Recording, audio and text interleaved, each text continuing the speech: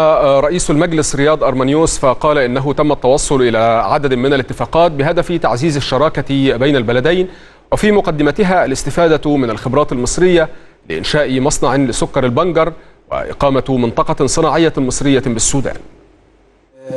إحنا الحقيقة معتزين إنه ان تكون مصر هي مكان الاجتماع الأول لهذا مجلس الأعمال المصري السوداني المشترك. ونتمنى إن شاء الله أن يكون في اجتماعات متواصلة نقدر نوصل فيها لخير لمواطني البلدين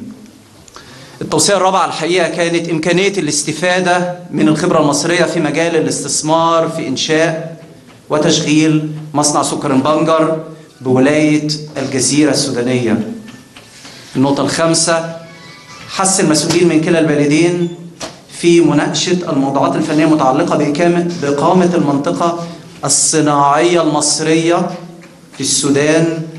اللي تم تحديدها بمساحة 2 مليون متر مربع بولاية الخرطوم بمنطقة الجيلي النقطة السادسة إمكانية الاستفادة من الخبرة المصرية في إنشاء شبكة من الطرق وسبل النقل بهدف التنمية الشاملة وتنمية المواني البحرية أيضاً.